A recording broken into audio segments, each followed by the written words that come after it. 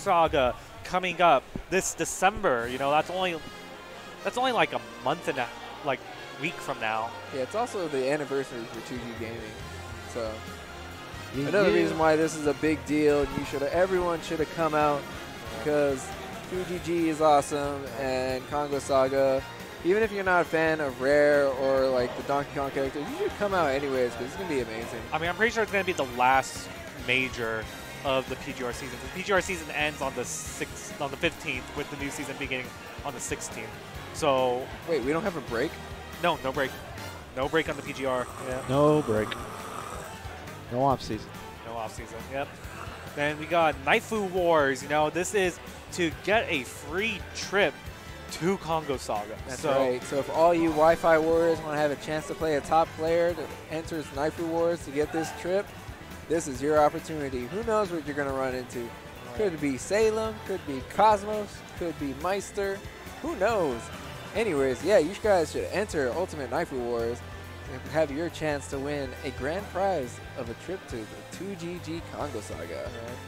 Don't forget there's some money involved. Oh too. yeah, registration closes basically two days from now. Tomorrow. Tomorrow, yeah. Yep.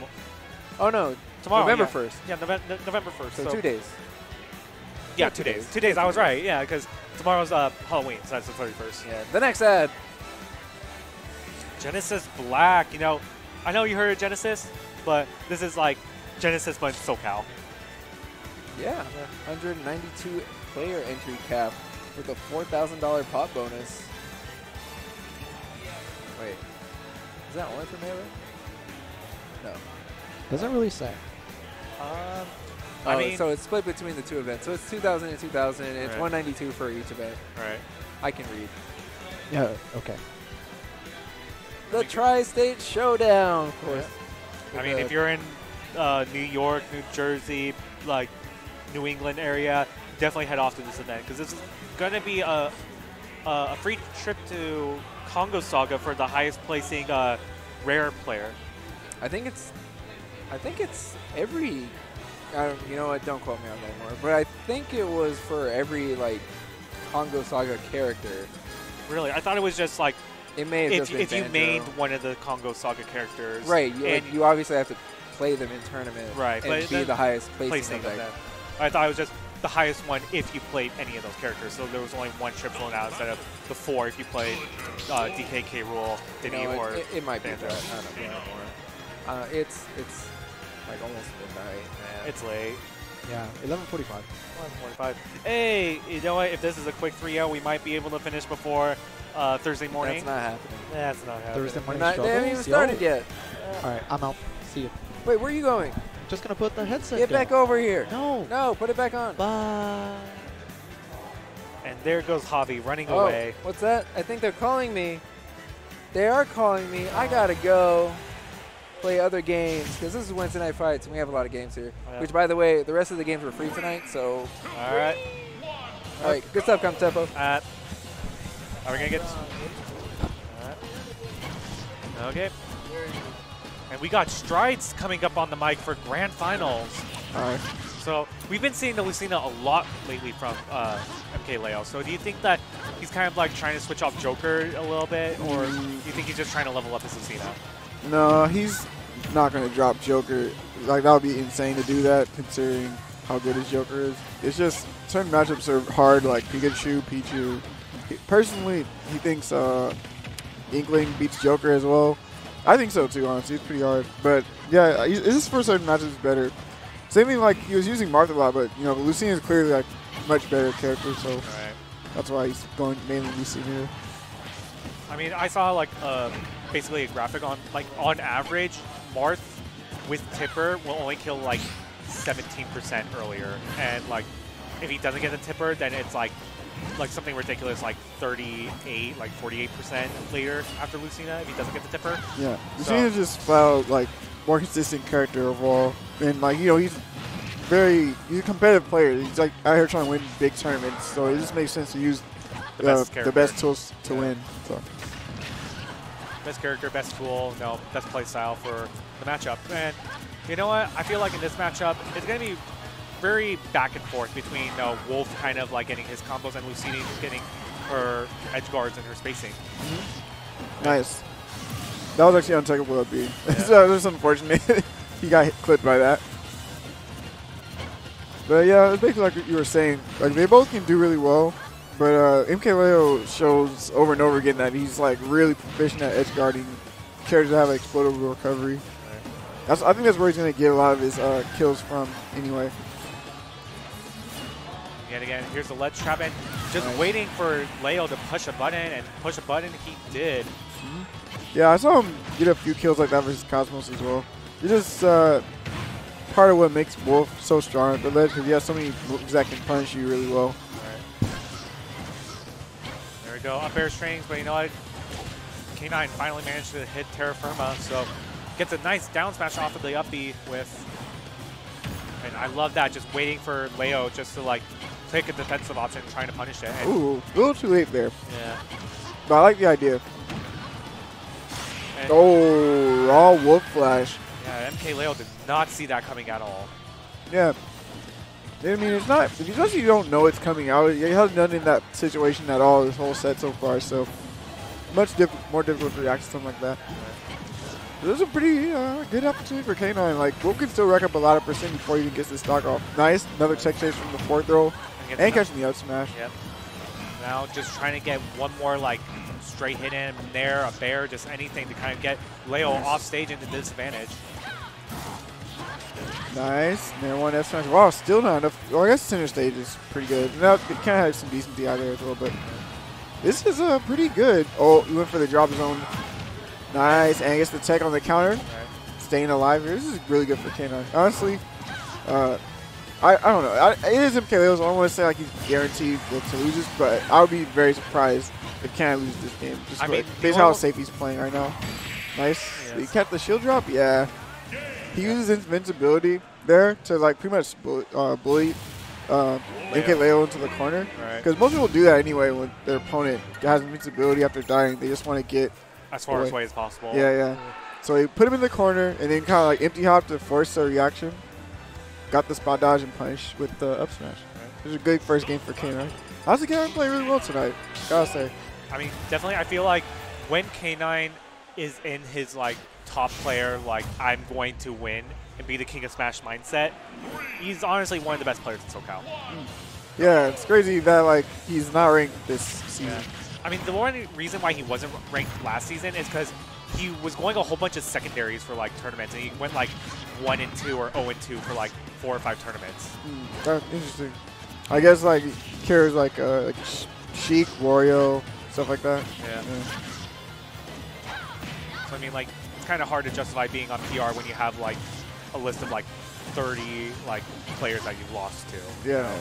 and like Oh. some of them are like little Timmy, you know. Yeah, yeah, yeah. I understand. That's the thing, you know Spydat definitely one of the better players in SoCal for sure. Oh, where's he gonna take this time? Oh wow, he just keep repositioning himself for the down tilt textures. So good. You know, and try and catch uh, Leo dropping shield right there, but not going to fall for it. Gets the Nice. fair off stage. I know Leo takes the first stock. Nice. I think he got him before like the start of his up B too. That's just really solid edge guard. Oh, nice. No jump here. Go for another one? Yeah. Yes. And Noah, he still had his double jump. Oh really? Yeah, I thought he double jumped from the ledge. Uh, I think. Oh, I guess I just saw it wrong. Uh, Yeah, I he, thought when he he, definitely double jumped off stage. Yeah, yeah. Huh. Maybe, I don't know, maybe I just didn't see close enough. But there's the up tilt. Again, catching uh, that jump from ledge. Pretty common option from Lucina. I'm gonna drop shield to that dancing blade. You know that that move is one of those things where like you see, you know, Marth and Lucina players use it a lot just to like kind of catch like roll options or spot dodges. You know, if you use it right, you can kind of mix up your timing and just make your opponent keep on guessing like when they're actually gonna drop shield. Yeah, that's just something that people will get better at as the game goes on. Just like timing your falling aerial to mix up like parry timing or like any type of uh, call out from your opponent. Go, Right tilt, throws him off stage, going for the low recovery, but not gonna find it. K9 Ooh. jumps into the back air, and no, Leo takes the second stock right there. And you know, I feel like Leo's just like, okay, you got me that first game, but now I'm gonna do what you did to me. I'm gonna play a lot more safe. I'm gonna play a lot more patient, just kind of like play my game and not yours. Yeah. they they both can play so well around like having a percent lead just because they they whip punish really hard, and they're just really good at baiting out their opponent. Like Wolf has insane aerial mobility, so like he doesn't really have to just like super hard approach a lot of times. He can just like jump in, drift back, like catch those great nairs and everything. But down smash out of the down tilt tech chase, going kind of far off stage, but eh, You know, yeah, he got the tech, and you know, if he didn't tech it, Leo had enough of a percent lead to like kind of go for it and Yeah. justify it. But you know what? Is that going to be fatal? And Yeah. the answer is no, because he catches the jump from ledge with the nair. Yeah, that's another good thing that uh, Lucina has, and, and Marth too. Uh, this is a really strong area to catch people when they do like neutral good up or jump from the ledge. Part of what makes uh, Lucina's edge trapping some of the best in the game, especially when Leo is playing Lucina. I remember yesterday, or sorry, on Monday, at MSM Grand Finals Cosmos, he like literally ledge trap Cosmos at the edge for almost like half a minute, just from using like down tilt, jab spacing, falling there, things like that. Right. I mean, it's one of those moves that like it can just catch so much space.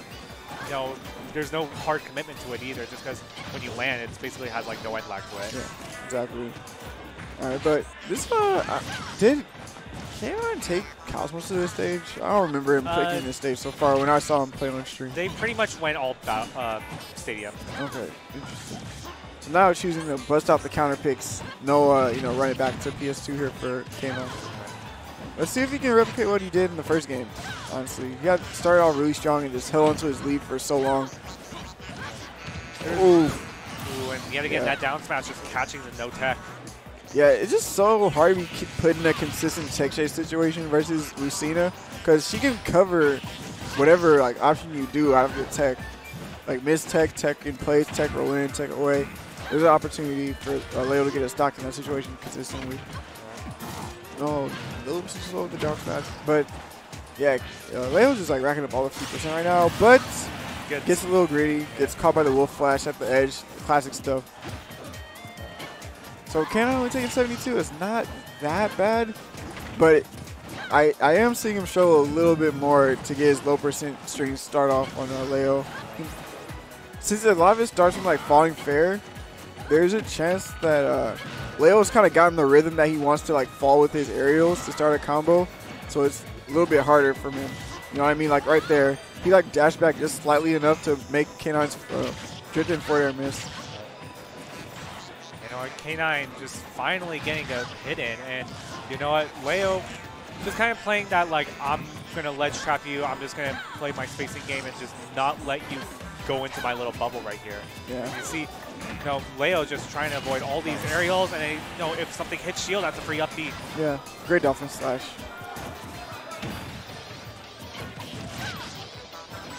Yeah, can I uh, gotta turn it up a little bit here. I, honestly, I just don't think he's. I don't think he's playing like bad per se. Just again, I feel like Leo's gotten kind of used to the speed that K9's fighting at. Definitely, if Cosmos was like kind of like going aggressive, Leo's almost doing the exact opposite, where he's playing almost just as passive, if not more passive than K9. Yeah, yeah. Yeah, again, trying to get those drift in there. It's like trying to force a cross up there, but Leo seems to have got that timing on that down pretty down pat so far. The empty hop into the throw, but not going to be able to find a punish off of it. Yet again, just his movement is so crisp. You know, everywhere you think you try to go, and then Leo's already there throwing out his giant sword. Nice catch the lane with the up tilt. That's definitely going to kill. Pretty solid two stack there for Leo. Like nothing too, you know, crazy or just like super technical. He's just keeping it really simple and safe. Spacing his arrows appropriately, staying like really well spaced out from where K9 wants to start like his approach. Again, it's just like those the way that Wolf starts his combos, at least the way K9's playing Wolf is that he's relying a lot on like these jump in aerials to catch Leo off guard and then starts from there, but Leo kind of has that baited out from what it seems. And then he also has a sword too, so if he does know you're gonna jump at him, he can just swing an aerial at you. Definitely, I feel like with Lucina, Lucina really tests how well can you do your your fundamentals and your spacing. You know, if I feel like there's no better player in the world than Leo at doing that. You know, he's just such amazing fundamentals and like spacing to where like every option that you pick like feels like it's wrong because Leo's already positions himself in a way that can kind of like punish wherever you're going to land, whatever move you're going to throw out. Yeah, You know? that's, that's definitely true. So part of make, what makes him so strong with like sword characters, I I feel like he, he could do really well with a character that doesn't have range, like as much range as like a sword character, just because his spacing is that good. But when you hit, put like a sword in his hand, it's a whole other story, as you can see. But, I mean, uh, it's the difference between having a, a stick and a long pole, you know? yeah, yeah, yeah. Yeah, it's very impressive to see every time. I got kind of scared for Leo though when he got caught by that wolf flash. Luckily for him, he didn't get the spike hitbox.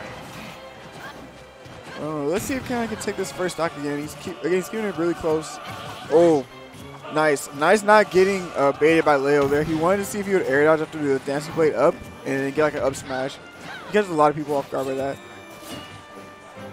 And again, here comes the ledge trapping situation. Just waiting for him Nice to trade for K9. Yeah.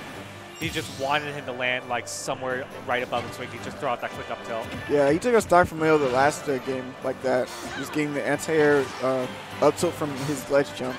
But let's, oh, yeah, I was going to say, yeah, but getting that first stock doesn't mean anything if you don't get to tag on any percent. And uh, Leo immediately catching that. He did a, another kind of predictable ledge jump aerial. Yet But- again, getting that punish and just extending his combo. Now, Yeah. K9 is just really reeling and bleeding out from the hip at this point. Yeah, this is a really strong string for Leo that all started from just throwing him off stage and just consist, uh, continuously resetting that off stage situation. Finally, Nice, like, spacing. You know, just as you think like, oh, I'm finally back on stage, Leo just grabs you and says, no, you're not. I'm going to throw you back off stage, throw you back into Nice. disadvantage, and just keep you there, keep you in the corner, keep you in a tech situation, and eventually you're going to slip up and I'm going to kill you for it. Yeah, anyone who mains Lucina, Marth, Chrom, Roy, I, I hope you're paying attention to how Leo uses down tilt to set up these kills or just tech chases because he's just been really immaculate in that sense. Wolf can do a similar thing, but his is from like his aerials and a down throw. The aerials aren't as like consistent as you know Leo's down tilt, but it's there. Just all a matter of like, can you pull it off on Leo? You know what I mean? Right. And, you know, there's that down tilt tech chase, and you know, you think you're gonna pick an option, and you know, you gotta, you gotta just basically hope that Leo doesn't read you. Yeah, There's the there one in the back air, and clean, clean way to close it out. And yeah, that was another two stock from Crocker, But yeah, very, very clean stuff from Leo. Glad to see him continue to grind out with this Lucina. Uh, and finishing it off at Wednesday night fights, not Thursday morning. yeah, it wasn't. I don't know how many injured there were tonight. I mean, I just barely got here, but good thing this ended uh, on time, I guess. I mean, But, yeah. Yeah, great stuff from Leo. Showing what he can do with Lucina.